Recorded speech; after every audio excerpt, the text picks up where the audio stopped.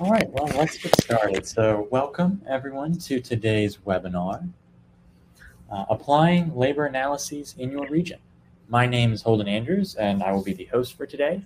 Uh, our two speakers are CEO and Chief Economist Chris Chmura and our Managing Director of Consulting, Bryan Shelly. So if you're new here, uh, we generally start these off with uh, an introductory slide into uh, who we are and uh, here at Chmura. So first, we provide labor market data and analysis so you can make informed decisions to help your community and business thrive. Chmura was founded in 1998 by Chris, uh, and we have two offices, one in Richmond, Virginia, the other in Cleveland, Ohio. All of us here are economists, data scientists, statisticians, and business professionals who truly, truly care about helping your community and your business grow. Uh, two things that drive us are client satisfaction and success. And as you'll see in a minute, we have a few things that we prioritize. One of those being excellence, both in customer service and data quality. Uh, Besides excellence, three other ideals that we really prioritize throughout our daily work are being thorough, striving for accuracy, and making sure that our data are useful. These uh, four things are what guide us as an organization, and they are what drive us and what we you know, work towards every single day. One way we really try to exemplify these values um, is through our labor market resources. We believe everyone deserves access to high quality economic analysis, which is why we offer a variety of free resources. One of these is our weekly economic update, where we send out the most up to date national data and analysis uh, every single week. If you would like to be on this list, I will put a link in the chat where you can sign up, uh, or you can send me an email, which will be provided at the end of these slides. Um, before I pass things off to Chris, I just want to mention that we will be sending out uh, the slides you see today and the recording to all of our attendees tomorrow. And then if there are any questions during the presentation, uh, please do not hesitate to put them in our chat. Thank you. Thanks, Holden. Uh, just before we get started, just a real quick update to let you know that we're having our JobsEQ Summit for JobsEQ users uh, this year in Cleveland, Ohio, after two years of not having it because of COVID. So um, October 9 through 13, if you're interested in attending, it will be at the Ritz Carlton in Cleveland. And you may think Ritz, uh, something that I can't afford, but we got very good prices on the hotel room. In fact, it's, I think, less than the last two hotels uh, that we had in terms of a daily rate. Um, a good time to attend workshops, network with your friends and some of the um, colleagues that you have and people who work at Chmura, talk to data experts. We'll have some people from within the company talking, as well as some people from outside. Um, for example, Susan Davenport. She's the Senior Vice President and Chief Economic Development Officer in the Greater Rich, uh, Greater Houston Partnership, will be speaking, and she will be talking about best practices in startup ecosystems.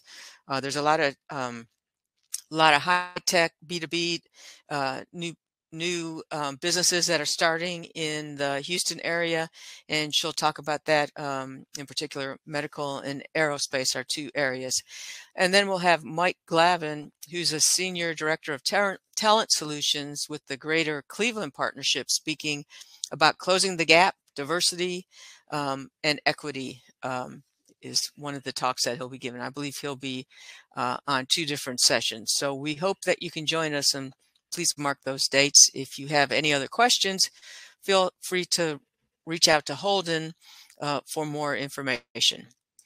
So um, now getting to our webinar here, looking at the national overview and labor market analysis. So in terms of the U.S., it looks like above growth trend through 2022. We've got the impact of the federal stimulus is winding down. The Federal Reserve policy is still very stimulative on the economy and they're going to re be reducing that as we go through the year. Big question is, will we see a re recession in 2023 or a soft landing? And that's dependent on when will inflation slow, how far will interest rates go up, and when will the supply chain disruptions ease. So we'll talk about all of that before we hand it over to Bryan to talk about labor market analysis. So in terms of the national overview, if you've been at our presentations before, you've seen this slide of gross domestic product, the broadest indicator of economic activity. And around the globe, a recession is defined as two consecutive drops in GDP. But here in the US, we have the National Bureau of Economic Research, which has a business dating cycle committee that looks at monthly data. GDP is quarterly, and they determine when the recession has begun and ended based on uh, several broad indicators. Uh, for the COVID recession, it ended, it, it started in March and ended in April. So it was two months long, but that straddles two quarter, so, two quarters. So it was a two quarter recession, a sharp rebound coming out of it. And then in terms of our forecast shown here in red, um, GDP actually for the first quarter is coming out tomorrow, and most economists are looking for it to be a weak number, similar to what we saw during the Delta variant time. And then after that, some fairly good growth around two and a half to three percent. Um, just as a baseline, anytime we see anything above two percent, that's considered strong growth. So at least through the remainder of 2022, strong growth. Then 2023 is dependent again on how much inflation is going to continue to tick up and how much the Fed is going to have to raise rates to bring it back down. So, uh, in terms of some of the stimulus in the economy from the federal government side, a lot of uh, money was given to households uh, during the pandemic because people were told to stay at home. Many people could not even work. And so we saw a big increase in personal savings. In fact, if we go back over time, typically it's less than a trillion dollars. Here you see the last two recessions in gray. But with the stimulus money, it was up above uh, six um, trillion in this particular month of April. Uh, some spending occurred, um, and then we saw it jump back up in January, jump back up in March with another um, stimulus checks going out. So we are back up to six trillion, but now people have been spending down that money and we're getting back to more normal levels, um, just above a trillion here in terms of the amount of savings that households have right now. So the impact of all this growth has come and gone in terms of the economy, and we don't expect to see much um, more support from the stimulus going forward. Uh, we have a very light um, labor market, as you all know. We're less than 4%. The unemployment will be out next week uh, for April, and we expect it to drop further. Uh, and on the right-hand side, you're looking at participation. So gray shaded areas are recessions. The participation rate went up in the 70s as more women were coming into the labor force. The baby boom was coming into the labor force. It topped out around 67%. And then when we went into the pandemic, um, understandably, the participation rate dropped um, at a strong pace and it has come back um, but we're still only at 62.5 compared to 63 prior to when the pandemic started. A lot of people retired, moved their retirement forward um, because of the pandemic. And now, because inflation is starting to go up, we're starting to see some people who had retired and thought that they wouldn't have to come back to work are finding that their budgets are tight. And so um, they are coming some of them are coming back. And that may be why partly we've seen a little bit of an increase, but many people don't expect us to get to these pre COVID levels in terms of in, um, participation rates. So now at a time when businesses are open back up, there's supply or there's demand for our goods and services. Um, we're also seeing another factor that's causing it to be difficult to keep people um, employed, and that is the quit rate. Um, typically, when we go through a recession, people don't quit their jobs to go to another job because of the uncertainty. If you quit your job and take a new job, it may not work out. Maybe demand for that product or service that's sold by that business doesn't hold out. And so quit rates always go down during recessions, shown in um, gray shaded areas here. And it did go down significantly during the COVID recession. But the one thing that we saw coming out of it is that quit rates rose very quickly. And in November, we saw um, a peak of 3%. These data are collected by the BLS and they started collecting them in 2000. So that's the highest on record.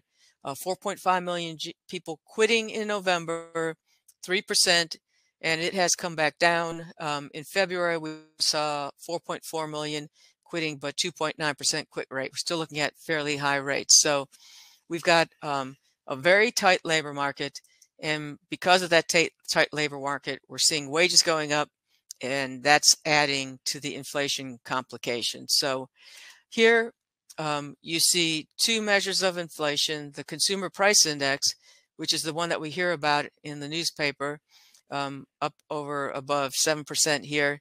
And then the PCE is the personal consumption expenditure price index, which is the Fed's preferred indicator because it looks at um, all the goods that are purchased in that month as opposed to the CPI, which is a basket of goods that changes every uh, couple of years. When we see people shifting from spending less on automotive and more on food, then that adjustment is made here in the PCE index and, and not in the CPI until they change the weighting. So clearly any indicator you see shows that inflation is a lot higher than it was in the previous decade or even two. And as a result, as I said earlier, we're seeing employment costs going up. So this is monthly data from the Bureau of Economic Analysis. Uh, employment costs index up 11.5% in February from a year ago. And that is more than just wages and salaries, takes into account other compensation. And again, the concern here is that when you see um, inflation going up and then wages starting to go up um, to keep up with inflation, you see a spiral happening. And this is sort of um, self perpetuating, um, and it's harder then to get uh, the inflation out of the economy. Um, typically, the Fed, it takes six to nine months or longer for a rate increase to move its way through the economy. And so typically the Fed is is way ahead of of um, inflation. In this case, they did not. They thought inflation was transitory, that they were seeing a lot of issues maybe relating to supply chain, um, but that was wrong. Um, and so now we've seen the start, Fed starting to raise interest rates. The only one they could directly affect is the federal funds rate target. So I'm showing that at the bottom. It's the daily rate that banks use to lend to each other. When that goes up, the prime rate goes up in lockstep and then the three month, uh, the one year treasury, they will all start to go up. That affects um, rates that are charged on automobiles. The 10 year bond uh, typically goes up, but that's more related to inflation expectation.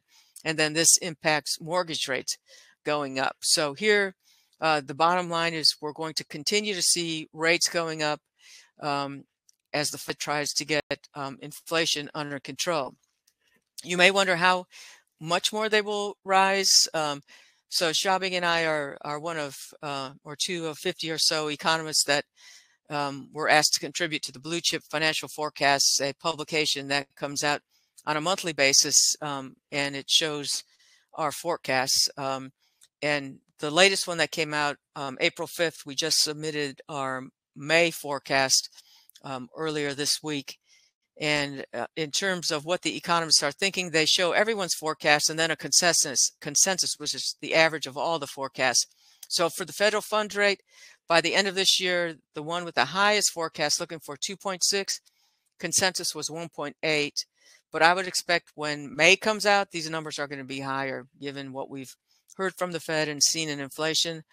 The Treasury at 4.5 at the end of this year and 2.8 is the consensus with the 30 year mortgage at 6.5 with the consensus being 4.7 as many of you probably know who are watching the 30 year mortgage it's up above 5 so clearly uh, this will change.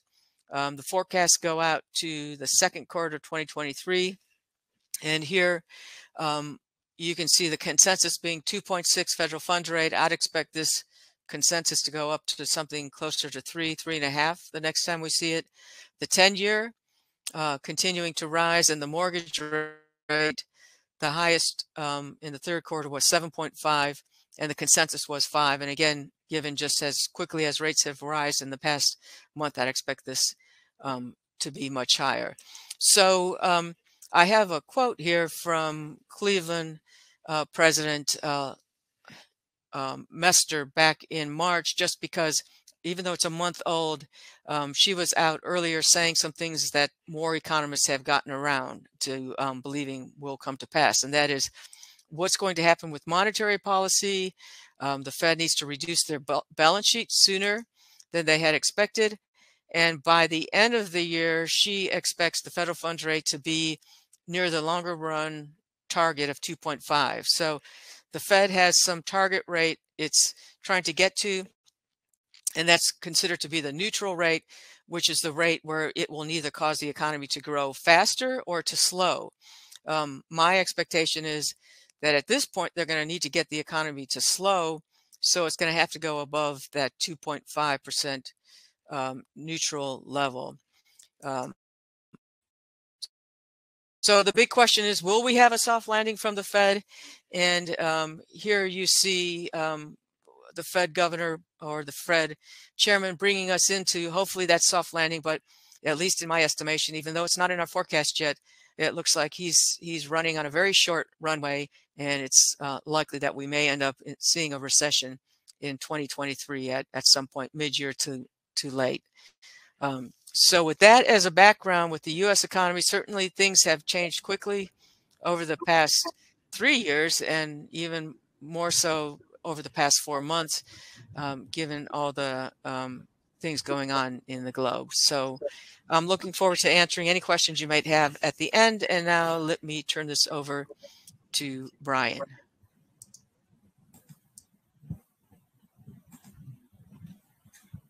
Oh, well, there's an infinite vortex. Let's go for this instead.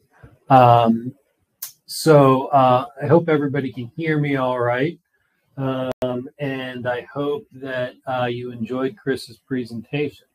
Um, so the big takeaway that I get out of Chris's presentation is that there's going to be a lot happening uh, in the next year and a half in the economy, and we're going to be headed for um, you know, a slowdown basically. And that uh, will influence decisions that you need to make, uh, a lot of which will pertain to workers.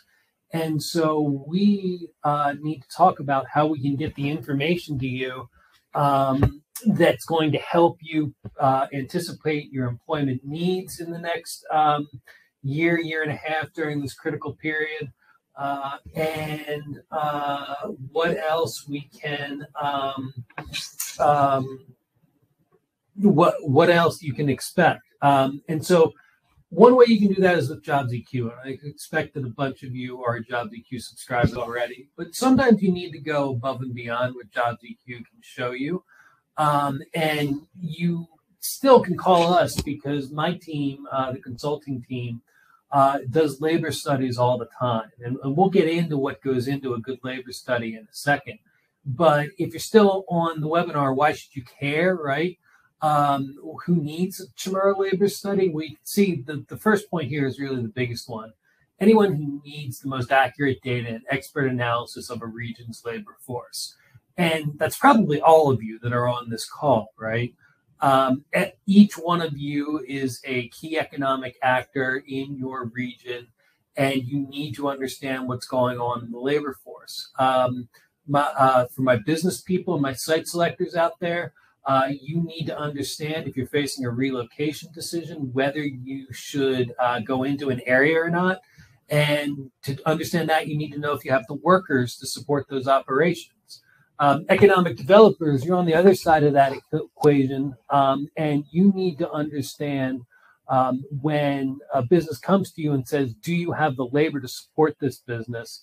You need to be able to say yes, or you need to be able to say, "Well, maybe this isn't the best one for us to go after." Right?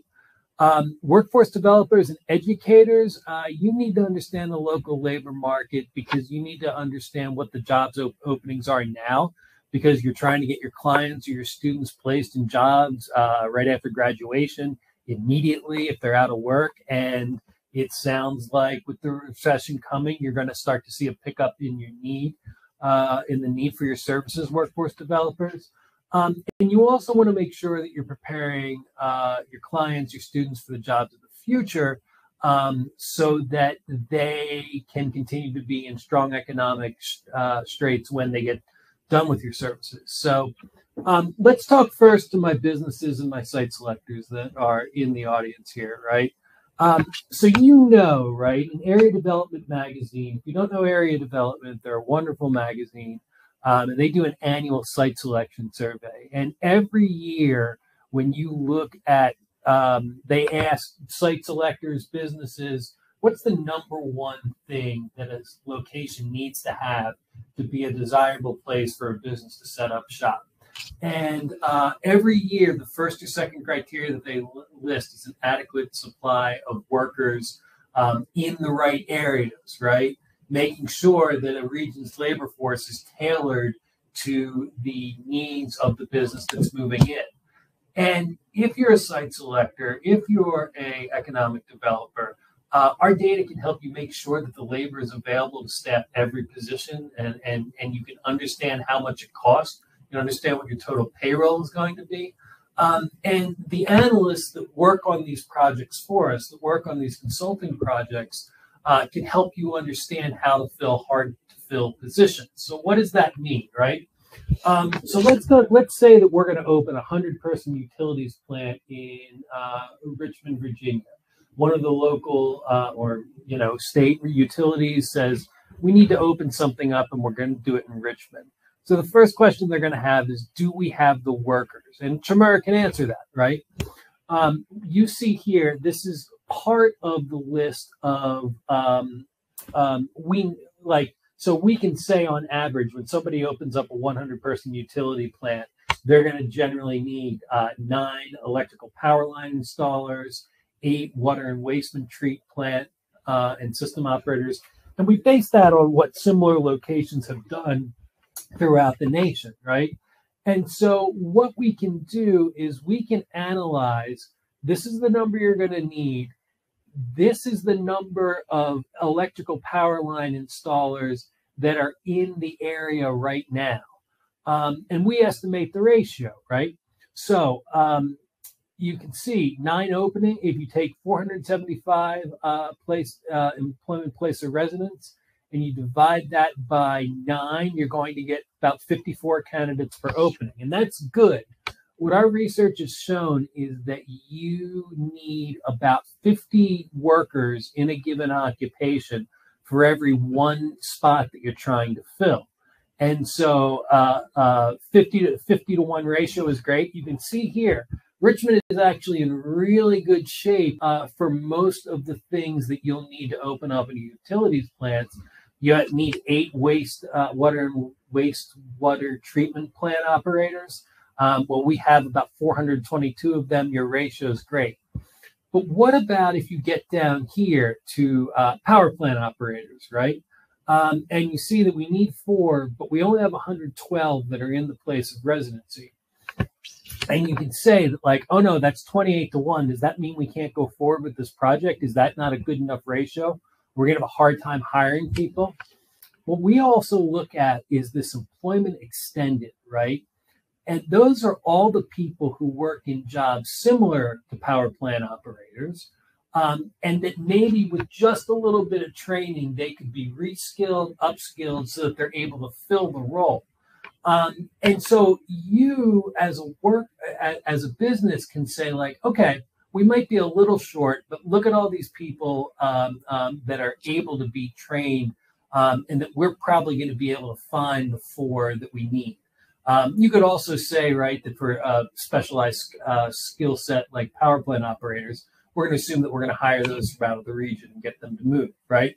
But the point of which is whether or not you you uh, uh, need all the work, or whether or not you get the workers as the uh, as already working in that field, or whether you need to go into employment experience extended, we've got you covered, and we can help you find uh, the workers that you're going to need. We can also help you understand your payroll, right? So this again, if you look up, same chart, same list of occupations. You can see here at the bottom, I cut off because there's actually, if you do a 100 person utilities plant, there are actually probably about you know 40 occupations that you need to fill, and they don't all fit on one slide. Um, but you can see here, right? We can give you uh, not only how many you need, but what you're going to pay in the region. Um, so for our electrical power line installers, they cost about uh, on average seventy three thousand four hundred. And I don't have it listed here, but we can also show you the entry level wage, what somebody's going to be making as an experienced worker, uh, the 10th percentile, the 25th percentile. We can do all kinds of stuff at wages to help you estimate what you're going to pay for this talent. And you can see that we can do an estimate uh, that we think is pretty darn accurate and that our uh, data scientists have found tracks very well with the records that we have, that you're going to spend about six point, uh, well, about $7.0 million um, on your regional average, uh, on your total payroll, if you open this plant here in um, Richmond, Virginia. Um, and there's all kinds of things that we can do. Obviously, if we can tell you this for Richmond, Virginia, we can also tell you this for other regions of the country. So our analysts, uh, we're doing a project like this right now, where our analysts are going in and comparing different regions of the country um, to see if they are the right place for a certain type of manufacturing. And um, we can sort of rate those um, um people on a um, on, a on a variety of factors, and then give the uh, results to you so that you as a business or you as a site selector representing a business can know with confidence um, where the site that has the best labor conditions, not just total workers, not just wages, but about 14 factors. Where is the best place for you to relocate, right? Um, economic developers, what can we do to help you? Um, well, you're, as I said, you're on the other side of this equation you're trying to get business to come in. You're trying to woo those businesses and the site selectors. So, what our data and analysis can do is help you make the case uh, that you are the right place for a business to relocate. We can help you understand your competitive advantages as a region so that you know that we should be chasing certain types of business because we have a higher chance of being success of being successful excuse me um, and um, one of the ways that we do that, right, is we've got this sort of grid. Grid. So let's say that Erie, Pennsylvania wants to get involved in a competition to attract a 75-person sheet metal work manufacturing facility. Uh, I don't know if we have anybody from Pennsylvania on the call, but um, Erie is in one corner of the state. I grew up in Philadelphia, the opposite corner, but I still have some fear, uh, some uh, fun feelings for anything in Pennsylvania. So we're going to talk about Erie, right? Um, so what Erie wants to know is how competitive are we going to be if we go after this uh, 75 person sheet metal work manufacturing facility? And I talk about all those different, this is kind of our secret sauce um, that we look at to understand um, site selection decisions. And you can be sure that if you are an economic developer, your site selectors and your businesses have this information about the strength of your region versus other regions. So you need to do, know it too so that you can make the best possible case. And what we'll do in this analytic is we probably pull, and Chris can probably tell you the exact number, we probably compare about 260, 270 uh, MSAs throughout the country. Um, and we can tell, we can rank them according to a bunch of these factors. Um, and we can say this is the best place to build a sheet metal work manufacturing facility. And so you can see that according to our secret sauce, the best place to do it before you consider things like incentives and specific properties and things like that is Gadsden. Gadsden rates the best on our, our ratio.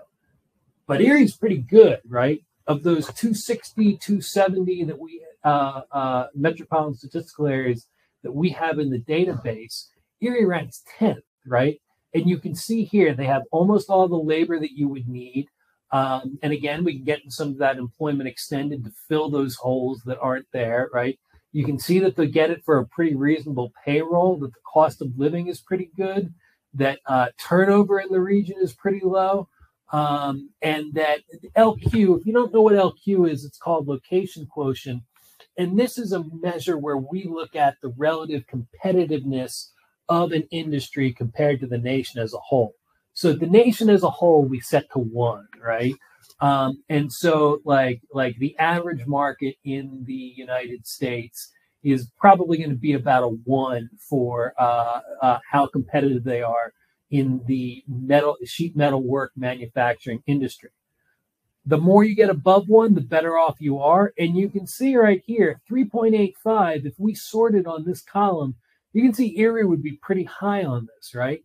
So that indicates that if you're that Erie economic developer, darn right you should go after this, right? You're one of the best locations. And with this data um, and other data we can show, you can really make the case that you are the best place um, uh, for the sheet metal work manufacturing facility to be. Um, my teachers and my workforce developers, right? Um, you need to help the people you serve be ready for the future. Um, you need to be able to tell your uh, workforce development clients, you need to be able to tell your students who are seniors, who are career and technical uh, education students who are going out into the job market here in another three to four months. You got to find out who's hiring right now. Uh, you have to make sure that your students have the emerging skills, right? It's not good enough uh, to know how to do uh, a machinist job 10 years ago. You have to know those things that are emerging, that, that are the newest trends. Um, and if your students or your workforce clients know that, they're going to be in a better position to get the best jobs. Um, and you also want to prepare them not just for the jobs of today, but tomorrow. You want them to have good career paths. And so you want them to be able to, um, you want to know that those jobs are going to be there for them in the future. So let's ask another question here, right? Um, and we can ask whether we should prepare our clients uh, or our students here, I'm using the workforce development language, um, to be maintenance and repair workers, right? Maintenance and repair workers. There are a couple questions we might ask. We might ask, is it a good career with people for a high school degree? Does it pay enough? And is it forecasted to grow in the future? And again, these are the types of questions that our analysts are thinking about every time they do a labor market study. So let's see if we can start to answer them, right? And we're back in Richmond, Virginia here. So we're looking at Richmond, Virginia we're probably going to recommend a maintenance and repair work career uh, to somebody with a high school education. Um, and you can see that that is a very, um, uh, uh, this job is very accessible to people um, with a high school degree. You can see our education breakdown right here, some of the information that we can provide in the labor study that the majority of them, uh, uh, counting some college no degree, a high school degree, or less than a high school degree. Look at that. That makes up close to two thirds, uh, more than two thirds, close to 75% of the total here. So this is a good job for people with a high school degree, and it's one they can get. Now, as far as why it's a good job here, you can see, right, that not only are these jobs um, um, pay pretty well, 45,000, I think, is just about at the regional average for um, Richmond, Virginia. Um, so this is going to, you know, you're going to be able to make your way uh, through life uh, on a uh, as a maintenance or repair worker. And you can also see that we project strong growth. Our analysts can see strong growth in the next uh, two years. We can see that it's going to grow by about 2% and that um, in two years in the Richmond, Virginia area, and again, we can do this for any region of the country, there's going to be about 1,331 jobs that are going to open up. So, yeah, they're going to be jobs for them and they're going to be jobs in the future, right? You may also want to know okay, what are the jobs right now? I got these high school students, they're going to graduate. I got these workforce clients, they're out of work right now. Um, or they're going to be out of work as the recession hits next year, right? How do you get out ahead of that?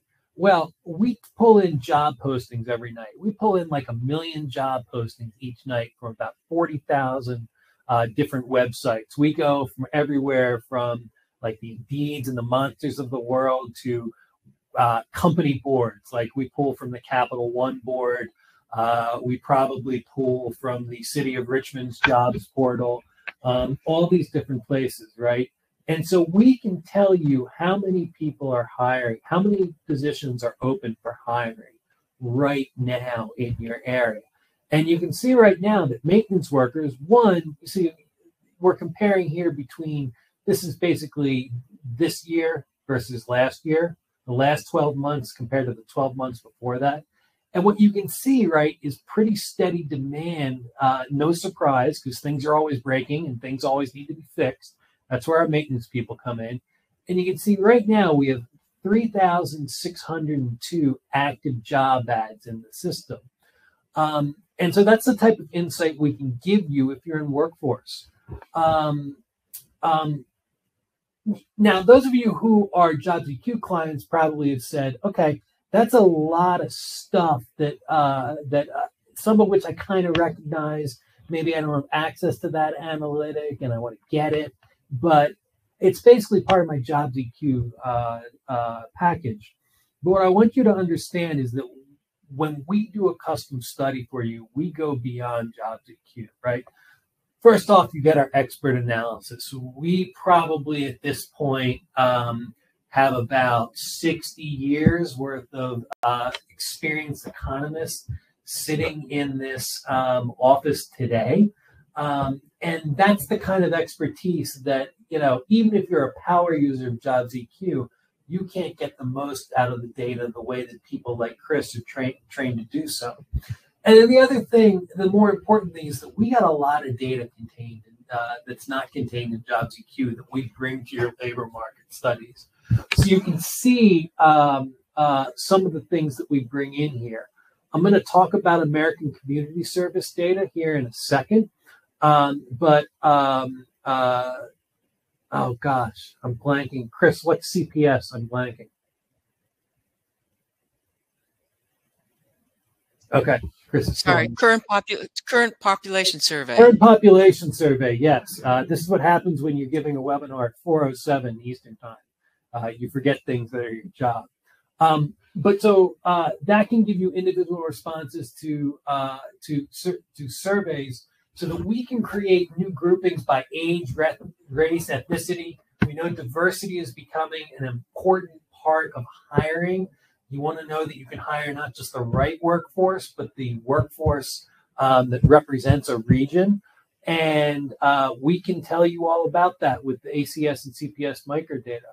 We can tell you a lot about what's happened in the pandemic. The census pulse surveys uh, are things that we analyze to understand what's happened to households and businesses throughout the pandemic.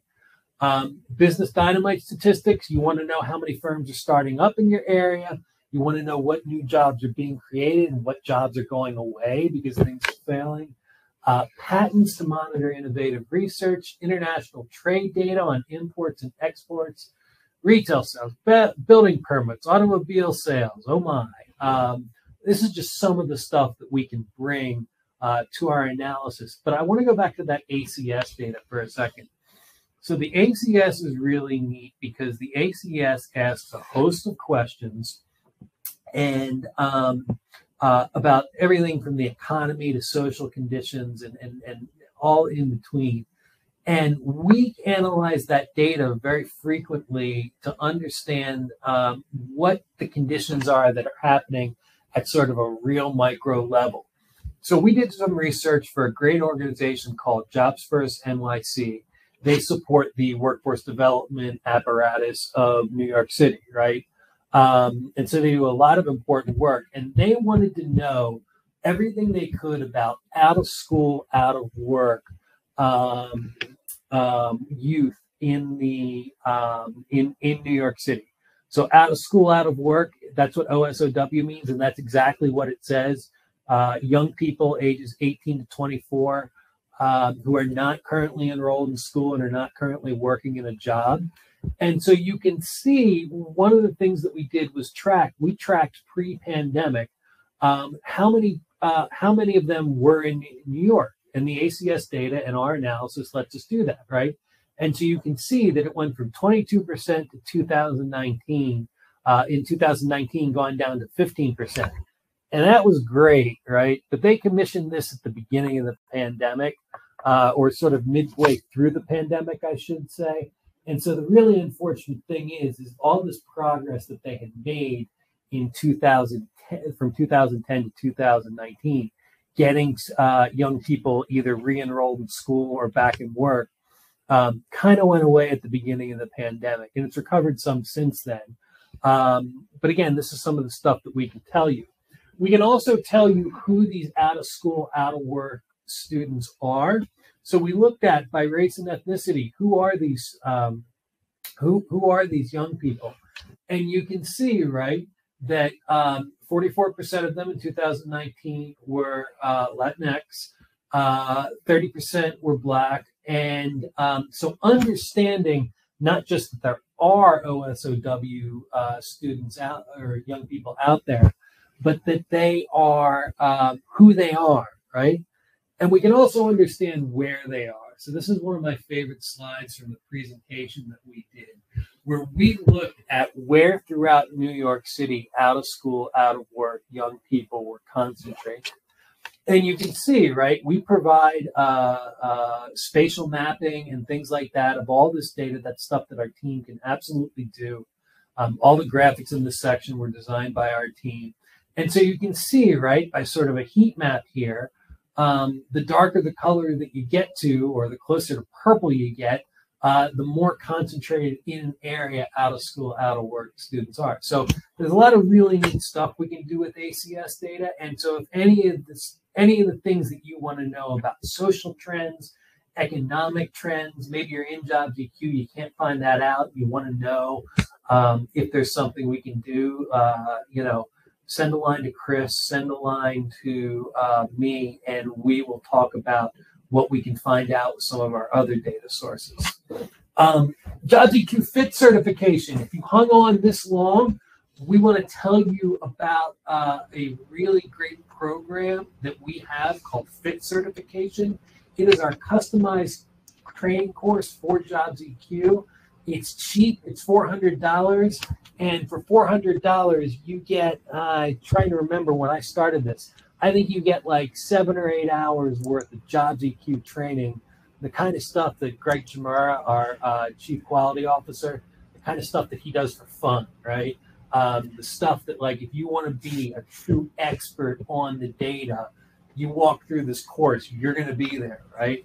Um, we got knowledge checks and quizzes to make sure that you understand that.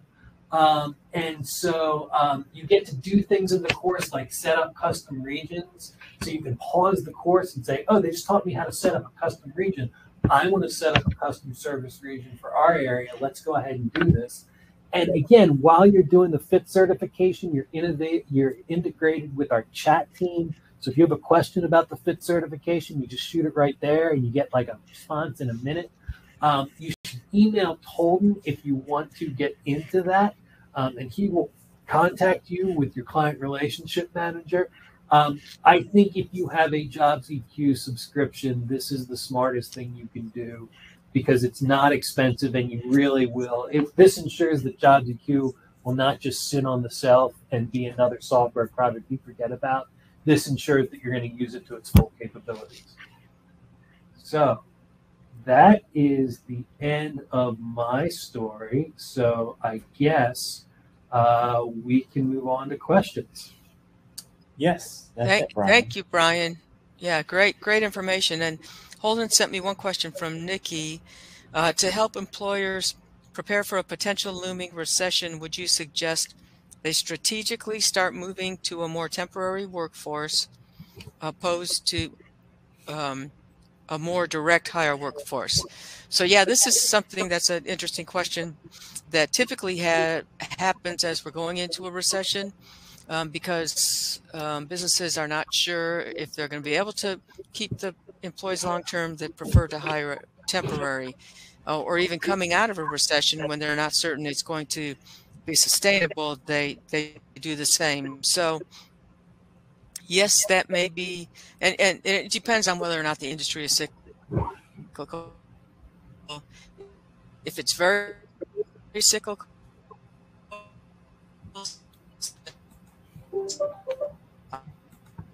if it's not cyclical, like hospitals typically don't see downturns or healthcare during recessions, then I would continue uh, direct hiring. Good question. Uh, hey, Chris, I think we lost you um, right at the tail end of your answer. You were speaking on um, whether or not things were cyclical, and you gave an example about, I believe it was a hospital. Could you just repeat that example real quick? Sure. If if we're looking at a hospital, which is typically not cyclical, typically doesn't decline during a recession, then I would continue to make direct hires. Um, got a question, and uh, Brenda Brenda Martin sent it directly to me, but I'm I think it's good for everybody, so I'm going to share it. Um, and she asked, "Is it feasible to run a study asking what high tech companies could our region attract?" Yeah, absolutely. Right. We can get into understanding what labor you have available in your market and understand how that matches the labor needs of different high tech industries so yeah, I think that's absolutely something that we could do. Uh, Bryan, we have another question. This one from Brandon. Uh, is there a way to cut off sites in any way?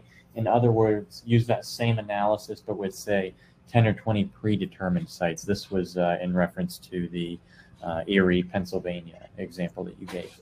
Yeah, and, and I referenced the study that we're doing right now. That's exactly what we did. Uh, we helped a company we basically they wanted to know every site in a certain region of the country uh, in of the country was it appropriate? And then so once we so- showed them everything that we thought might be appropriate they said all right we have this have these four or five we really want to know more about. Um, so yes we absolutely can uh, focus if you have specific locations that you want to look at we can do a deep dive on those locations and tell you how applicable um, the current labor supply in those areas uh, is for what you need. Awesome. And then as a follow up, um, Bryan, is there a way to do that in the labor EQ analytic? Um, yeah, some of what I showed you is in the labor EQ analytic today. And so I think you can do some of that to compare the stuff. Um, I think a lot of times um, people like labor EQ is an amazing tool if you know how to use it. It's tricky. Um, and so a lot of times we will have um, um, people who come to us and say, like, can you help us make sense of labor EQ? But if you are a JobsEQ subscriber, I'd absolutely say start with labor EQ, talk to your um, talk to your CRM, and see if you can talk with the chat team and see if you can puzzle through it. If you're not getting what you need, that's when you give our team a call, and we'll be happy to sort of get not only what's in labor EQ, but a bunch more information that we'll bring to the table. Perfect. Uh, and, and Cindy here has a question about does the study come with an annual subscription cost?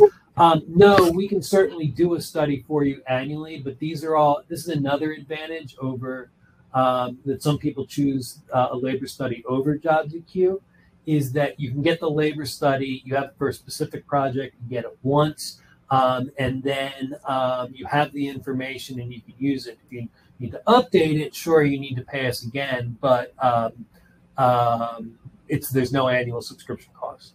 Awesome. Um, we've got another question from uh, oh, Chris. I see you answered it uh, in the chat. So, uh, question from uh, Thaddeus: How do JobsEQ and Labor EQ differ?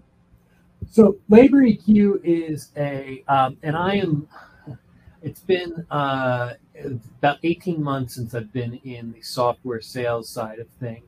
Is labor EQ included with JobsEQ Pro? So it depends on. We'll just sit here and we'll say it depends on what package of JobsEQ that you have. Labor EQ is an analytic that sits within JobsEQ. I don't think it's available on the basic Pro package. I think you have to subscribe for um, for sort of the works, the deluxe car wash, whatever we call it here. And Labor EQ is very similar to that Erie, Pennsylvania side slide that I showed you, um, with um, certain things uh, highlighted in green to say we're very competitive in this area ranking the different areas and stuff like that. So again, it's an analytic within JobsEQ.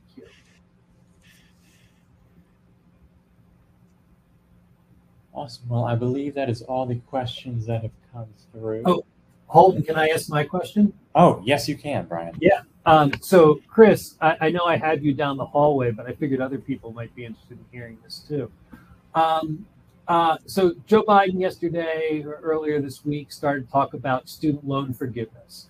Um, assuming that were to happen sometime this year, what would be the economic consequences of that?